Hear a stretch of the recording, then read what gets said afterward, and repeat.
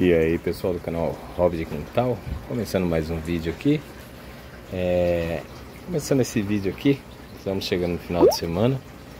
É, Dando sequência aqui na reprodução dos Kings Como eu havia dito, é, esse ano aqui eu estou tentando aí novas, novos métodos né.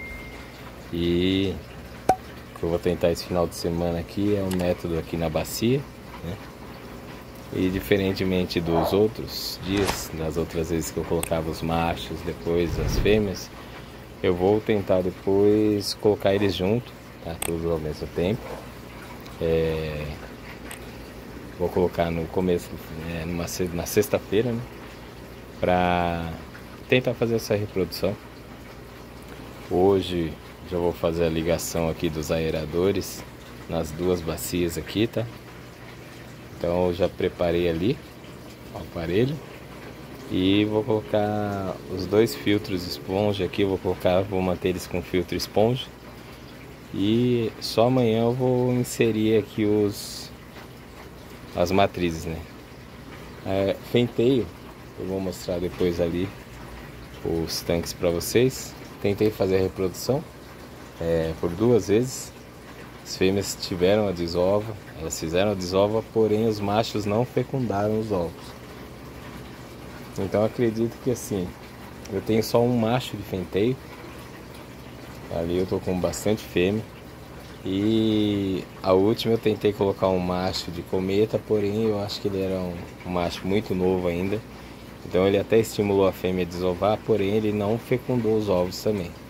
Então acabou que eu perdi ali a desova acabou não nascendo os alevinos, não, não fecundando os ovos, né? Tem uma cria ali de cometa, né, que eu estou dando continuidade, tá? Com os alevinos ali crescendo. E agora eu vou fazer a ligação e eu já volto com vocês aqui mostrando o sistema tudo ligado, já com o aerador, o filtro esponja aqui. Bom, gente, de volta aqui, ó. Já fiz a ligação. Então, os dois sistemas aqui funcionando com filtro esponja aqui já fazendo a aeração, tudo. Essa água aqui tem mais ou menos uma semana que está aqui descansando. Ela tá amarela assim devido à amendoeira, tá? Folha de amendoeira. Que eu deixei decantando num, num balde aqui. Alguns, se eu não me engano, uns três dias. E depois eu coloquei só um pouco lá da água. Né? Vou fazer aqui. Mas assim que colocar os peixes também, vou colocar aí uma folha grande cada uma. E a folha em si ela ajuda também, estimula na reprodução. Né? E ó, gente, depois eu vou ver se eu consigo mostrar e filmar em mais detalhes aqui. É o tanque das Daphnes, né? Daphne não é. São as Artemis. Artemis ali, você pode ver ali, ó. Elas estão se desenvolvendo, claro que reduziu, né, bem mais do que tinha antes. Mas o intuito aqui dessas aqui agora é tentar fazer uma reprodução delas. Né?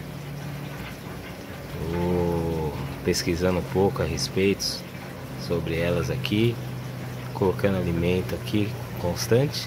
Estou utilizando espirulina né, como alimento para tentar aí, quem sabe, tirar uma reprodução é, conseguir tirar os cistos aí para todo ano conseguir fazer uma eclosão aí de artêmia também né? cada reprodução aí conseguir tirar é, eclosão de artêmia para fazer aí o alimento aí dos alevinos né? lembrando que ainda tenho bastante cisto aqui então essa aqui é mais para fazer esse teste mesmo de criação se tudo correr bem aí eu passo essa dica aqui também para vocês de como fazer essa criação aqui direitinho, né? Bom, gente, não esquece, se você curtiu a gente até aqui, já desce lá, deixa o seu joinha para ajudar a gente. Aí, se não for inscrito no canal, se inscreve e ativa o sininho aí para receber as notificações, tá? Segue também a gente aí nas redes sociais aí.